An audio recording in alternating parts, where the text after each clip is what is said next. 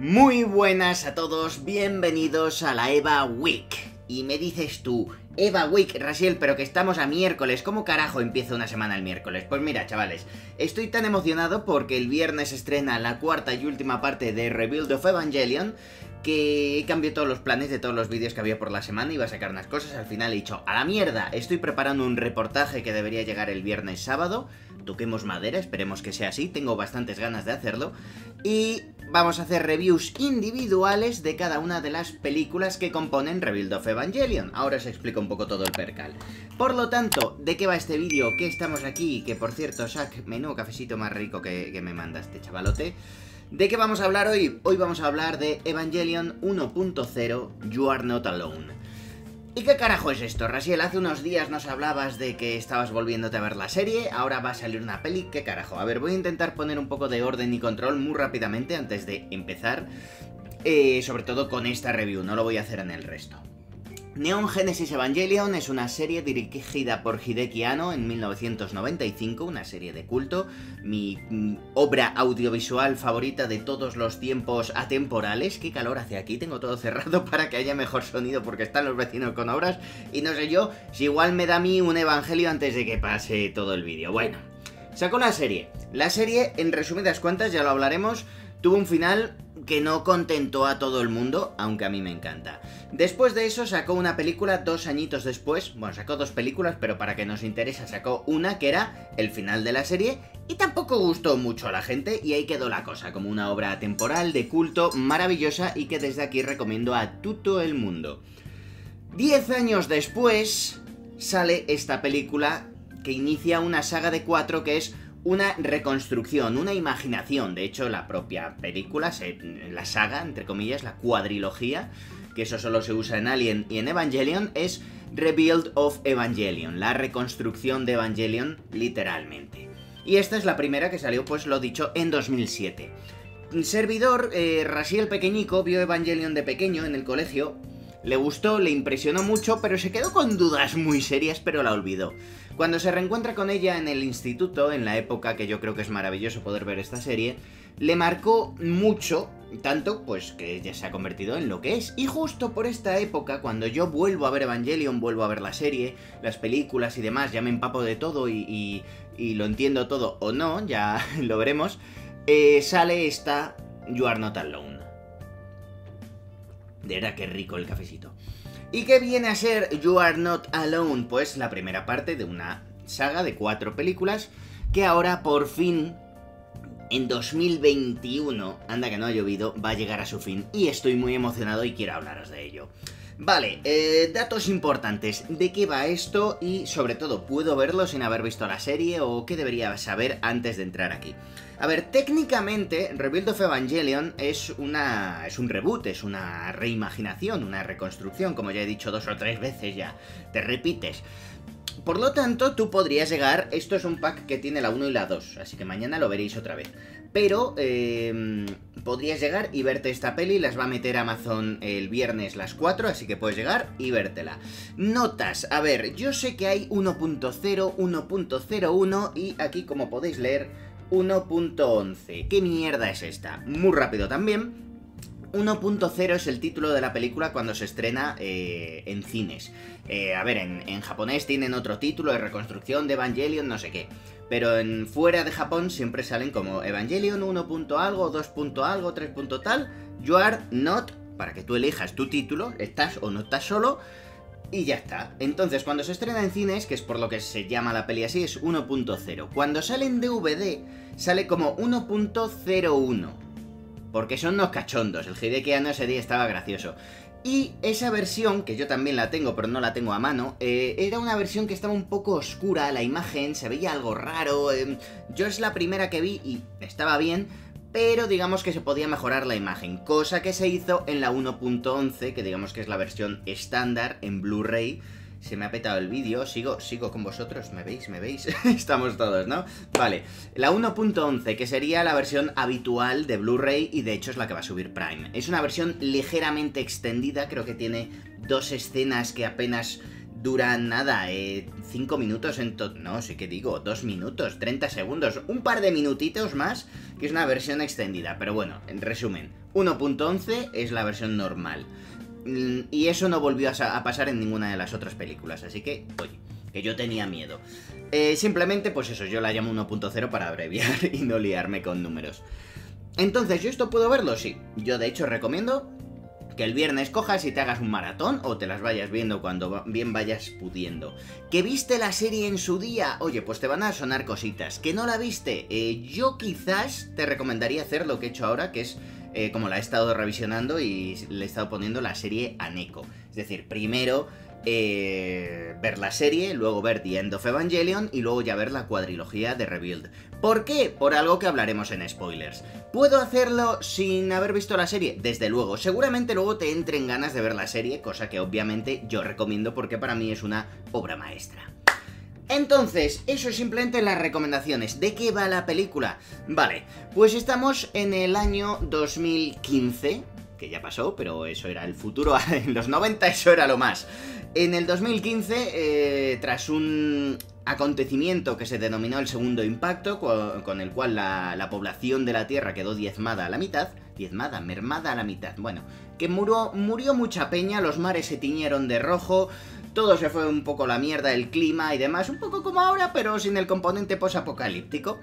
Entonces, ahí quedó la cosa, el mundo se fue poco a poco reconstruyendo eh, a sí mismo, y entramos en acción con Shinji Ikari, uno de los personajes más incomprendidos, protagonistas de la historia del cine junto a Frodo Bolson, seguramente, que es invitado a Tokio 3, una ciudad fortaleza, que es precioso eso, la, verdad es maravilloso, en la cual pues su padre, que trabaja en una organización muy secreta y muy chachi llamada NERF, le ha dicho, oye Shinji, vente para acá para pasar el fin de... Pero no quiere pasar el fin de, no. Lo que quiere es que se monte en un robot gigante, que seguramente todos conocéis porque es uno de los iconos de la cultura popular, y que se ponga a matar ángeles. ¿Qué son los ángeles? Unos seres extraños que aparecen normalmente de la nada o del espacio, popean, no sé, nunca se sabe dónde salen, pero aparecen y quieren ir a Tokio 3 a todo trance a, a destruir la humanidad. Si llegan a Tokio 3, todo se va a la mierda. Entonces Shinji tiene que montarse en el robot y petarles el cacas. De eso más o menos va la serie. ¿Qué pasa? Que luego hay un componente pseudo judeo-masónico cristiano extraño de fondo que ya iréis descubriendo y que quizás le cojáis el gustillo o odiéis la serie y la peli por ello. El caso, Rebuild of Evangelion. Llevaba sin ver esta peli cuando salió la 3, me cago en la leche. Pues aproximadamente desde 2013, que sería cuando la 3 saldría en, en Blu-ray, no las he vuelto a ver adrede para llegar a este momento, para llegar a el revisionado final, antes de, ver la cuarta entrega este viernes. Entonces me hacía mucha ilusión, venía de ver la serie con Neko, de ver The End of Evangelion, y sí que os puedo decir, aquí zona sin spoilers, luego ya vamos con el tema, eh, visualmente es una puta maravilla, es increíble cómo se ven. Yo no sé si es por haber venido de ver The End of Evangelion, que es una película del 97, y cambiar aquí 10 años al futuro, pero vamos, la factura técnica de Rebuild en general es apoteósica, se ve, cada fotograma es maravilloso, hay imágenes increíbles, si bien esto es una especie de recreación de los 4 o 5 primeros capítulos de la serie, no, no estoy ahora seguro y no lo tengo aquí, pero de los primeros capítulos de la serie, em, y, e imitan planos, imitan... De hecho, parece un remake, parece un copia y pega uno a uno, con matices, con cambios, con esa cosita que siempre os digo yo. Y sí, en esencia es lo mismo, pero hay cosas que hablaremos en la zona de spoilers que hacen que la historia sea ligeramente diferente. Pero por lo demás, en realidad es pues un coger los capítulos iniciales y cambiarlos por esto. Por lo tanto, a nivel de fotografía dices, bueno, tampoco están inventando la rueda. Y es verdad. Yo muchas veces lo he pensado. Cuando veo esta película, me encanta, me, emociono mucho, me, ¡ah! me meto mucho en la acción. Pero luego con el tiempo, cuando veo otras cosas, puntúas otras cosas y tal, siempre piensas, no se merece tan eh, la nota tan alta que le he dado porque no inventa nada, no deja de ser un remake de lo que ya existía, lo vuelve a cambiar, reformula, cambia un par de piezas, lo hace más bonito, mucho más bonito, le pone otra banda sonora de fondo y tira para adelante, ¿no? Em, pero vamos, es que vamos, ahora en spoilers os lo explico, pero vamos, los pelos de punta, lagrimones, yo llorando con Yuarno Talón, ¿por qué cojones pasó esa noche?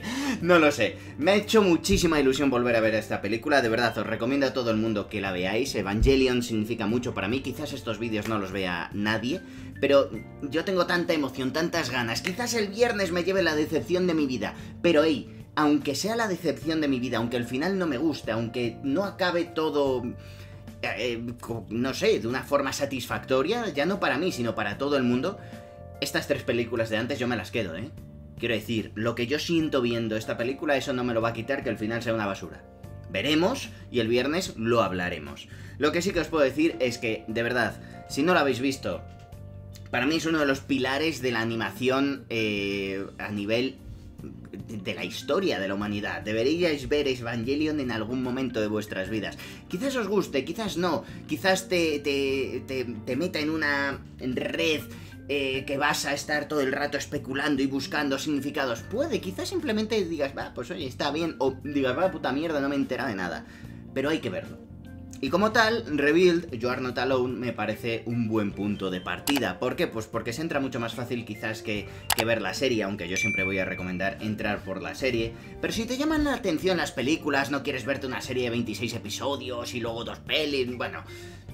Es un buen punto de inicio, creo que explica muy bien la historia base, creo que deja todo muy bien preparado, pero claro, si conoces de dónde va, juega mucho más contigo y creo que ahí hay un componente de esto no te la esperabas, cabrón. Pero bueno, a pesar de ello, muy recomendada. Eh, gran, gran, gran inicio de saga. Me he vuelto a petar. Eh, me sé esta peli de memoria porque me la vi en su momento en japonés. Luego cuando salió la compré. Luego volví a ver la versión extendida. Luego cuando salió la 2 me vi la 1 y la 2. Me la he visto mil veces. Es la que más me he visto con diferencia. Y cuanto más la veo, más me gusta. Así que bueno, un sorbito del café del caracol de Sack. Y vamos con spoilers que tengo muchas ganas, muchas, muchas ganas. Por favor, spoiler. luego no me digáis que os jodo las cosas, ¿eh?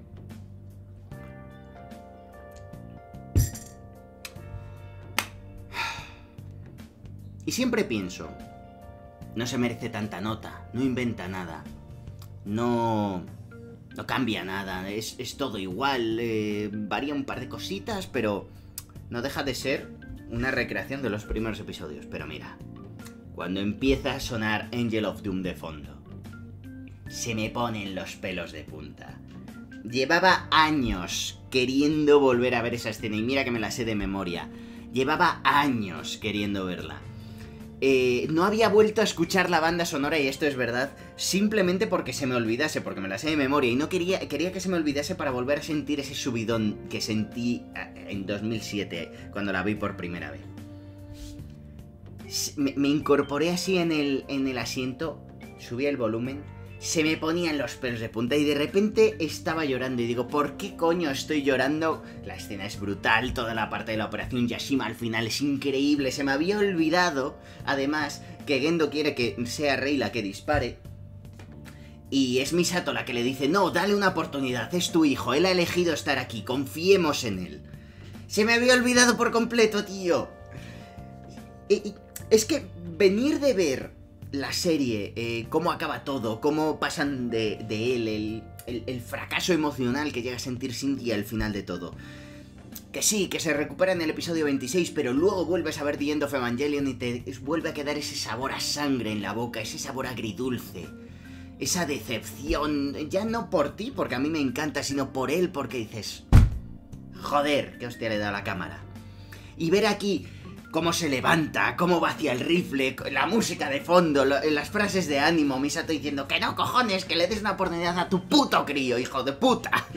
Yo ahí aplaudiendo con los lágrimas. Vamos, no he vivido esta escena tanto, yo creo que como la primera vez que la vi jamás la había vivido tanto.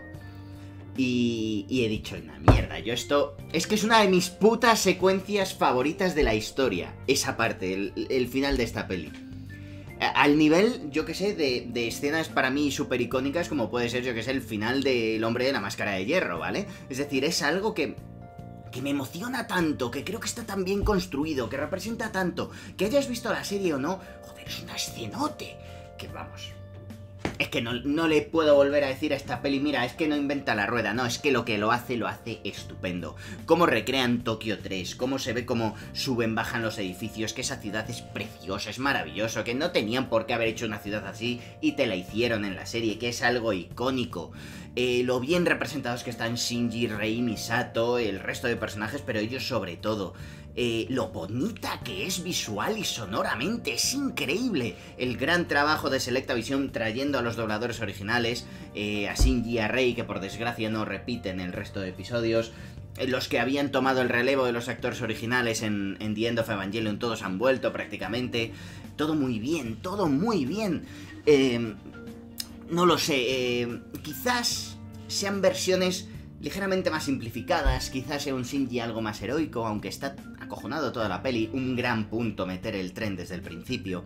Eh, quizás sea una Rey más abierta a relacionarse con los demás, mañana hablaremos de Asuka, quizás, pero creo que en una película de 40 minutos condensar toda la esencia de unos personajes tan complejos, tan tridimensionales, tan curtidos, tan importantes, es difícil. Y yo creo que esta reimaginación lo hace bien, y creo que Hideki Anno eh, ha vuelto, y ha vuelto por algo. No creo que simplemente esté haciendo Evangelion por dinero, que también, por supuesto. Es tu producto, véndelo y paténtalo y cofórrate con ello, me cago en la puta. Pero estoy seguro de que esto es algo, de que el tío quería hacer esto, no ha sido un capricho, no son cuatro pelis porque sí, ya hablaremos. Chapó, para mí, un inicio ejemplar. ¿Por qué? Porque Evangelion tiene que empezar así. La serie, el manga, los juegos, la, la reconstrucción, todo empieza así. Luego se va derivando, luego va cambiando. Pero es que es el, el Sota Caballo y Rey, el ABC. Está todo tan bien hecho, tan bien construido, que es que me he visto la serie hace nada, hace una semana, empecé. dos semanas, empezamos a verla. Y y no, ah, yo temía, digo, va, se me va a hacer repetitiva, ya verás, va a ser un coñazo, no le va a gustar a Neko. Le ha encantado, le ha gustado más que cualquier peli que la serie enteras. Con eso lo digo todo. Y yo, ya os digo, yo encantado. ¿Y qué me dices de esa postcréditos? ¿Eh? ¿Eh? ¿Eh? Kaworu, meter a Kaworu aquí es un puntazo, para mí es un puntazo porque es uno de los personajes con mayor repercusión, con menos tiempo en pantalla de la puta historia, las cosas como son. Ay, estoy muy emocionado. Y esa escena final, esos cambios sutiles de la trama, como que el número uno no despierte para protegerle, como que... Luego hay cambios menores, como que le dé la tarjeta de rey en otro, en un bar mientras se toman algo y tal, pero esa máscara que tiene Lilith abajo, ese número, ese, esa máscara de la Lilith de la serie en el espacio, esos cofres, ese mar rojo, esa luna ensangrentada, eso que grita por todos lados, soy una puta secuela, mírame. Así que el tercero otra vez, habrá un tercero, nunca cambiarás. Estoy deseando conocerte, Shinji Ikari. Me puto encanta, de verdad, me parece fascinante, porque es que estoy convencido de que esto es una secuela, que quizás no lo sea y yo al final, pues, oye, me quedaré un poco decepcionado, pero estoy Decidme que no sería un puntazo que los manuscritos del Mar Muerto no fuera la serie. ¿Eh? Decidme que no molaría. ¿Por qué? Pues porque estoy bastante convencido de que... Sí, el tío está haciendo ahora Rebuild. Y, quizás, quizás, hablamos a cuatro días vista, pero quizás Rebuild acabe bien. Acabe con un final que satisfaga a todo el mundo. Y eso va a hacer que mucha gente se enfade. Ah, es que no es la esencia de Evangelion, ha tirado por lo mainstream, es mucho más simple. Coño, es una peli, no es una serie, ¿vale? Eh, pero yo lo que creo es que el tío aquí, otra vez me he quedado quieto, está haciendo otro ciclo. Otro ciclo que este va a acabar de una forma totalmente diferente e inesperada y va a hacer que cuando estés viendo esto digas, joder, me quiero volver a ver la serie. Y va a hacer que la serie y The End of Evangelion y, y Reveal sea todo un ciclo, un bucle y acabe todo bien y te deja una sensación guay de, mira, voy a hacer maratón y me lo voy a ver todo seguido porque es todo, digamos, una misma historia. Estoy convencido de ello, por mucho que eh, Not Alone sea un buen punto para entrar y tal, estoy convencido de que al final va, va, a hacer algo del estilo. ¿Por qué? Ya no solo por las pistas de esta peli, por esa frase de Kaworu, eh, por cómo juegan con nosotros con ese tráiler de próximamente, porque en realidad hay que ser sinceros, las películas, por mucho que hubiera una pequeña planificación, se fueron cambiando a medida que van avanzando, aunque con una idea base en cabeza, por lo tanto hay cosas que igual eh, te generan demasiadas expectativas y luego no se cumplen a la peli siguiente, mañana lo veremos. Eh, se va 5, Eva 6, todo eso, las escenas que salen que luego no, no suceden, o sí, ya veremos. Eh, el logo de Trice Upon a Time, en japonés, el, título, tiene. No sé cómo se llama musicalmente, perdonadme, soy un inculto. Eh, es la escritura que cuando tú terminas una canción escribes eso para que sepas que la canción se vuelve a repetir. Y la película tiene eso, ¿sabes? Es una repetición. Todas se titulan You are not algo, you cannot algo, no puedes, quizás, eh, ¿sabes? Siempre hay un not. Thrice Upon a Time. Eras una vez, Once Upon a Time, eras una vez tres veces, tres finales. Neon Genesis Evangelion, The End of Evangelion, Rebuild of Evangelion. Es mi teoría. Quizás me queme y me muera solo en ese barco. Pero por ahora, a tres días del estreno, es mi teoría. Así que nada, chavales, una review quizás más larga de lo esperado, pero tenía muchas ganas, creo que se ha notado. Sé que es una semana que debería haber sacado otros vídeos, tenía otras cosas que veremos en el futuro, ¿vale? No las desecho, ni mucho menos, ya lo tengo casi hecho todo. Pero eh, esta semana me apetecía parar, echar el freno, desconectar un poquito y volver a disfrutar como, como merece una de mis sagas favoritas, si no mi saga favorita de la historia y quería compartirlo con vosotros. Quizás este vídeo no lo vea mucha gente, quizás tampoco os haga mucha gracia, no lo sé si no estáis muy puestos, no lo sé, no sé hasta qué punto hay nicho para Evangelion en este canal. Lo que sí que os digo es que el viernes vais a...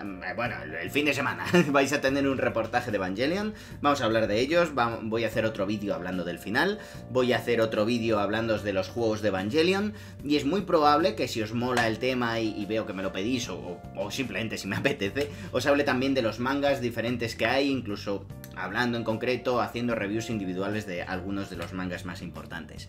Y poco más, esto es Evangelion 1.0, You Are Not Alone, vosotros no estáis solos, me tenéis a mí al otro lado de la pantalla, que lo sepáis, Mirras y Elims. Así que poco más, mañana review de You Cannot Advance, muchas ganas de verla esta noche, mañana os contaré qué tal. Nos vemos en el próximo vídeo y ojalá hayáis disfrutado mucho de este, esta humilde review y de esta charlita aquí amena con cafecito. Voy a abrir la puerta que me va a dar un pampurrio y quiero por lo menos llegar hasta el viernes a ver la peli. Si no, mal vamos. Chao.